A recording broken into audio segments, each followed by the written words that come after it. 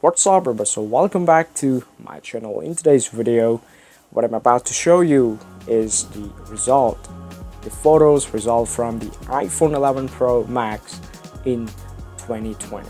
As I mentioned in my previous video, the video I'm talking about the iPhone 11 Pro Max, I heavily use the iPhone 11 Pro Max in photography field instead of the DSLR. One of the main reason for this is because the iPhone 11 Pro Max is lighter and more convenient to carry along, while DSLR is too heavy. I also have the video uh, to compare the results, the, the photo result from both gadgets, the iPhone 11 Pro Max and uh, the Canon 6D Mark II. If you haven't checked my video yet, you can do so with the link above.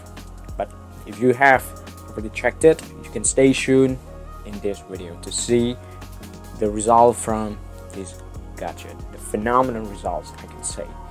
Okay, so without further delay, let's get started.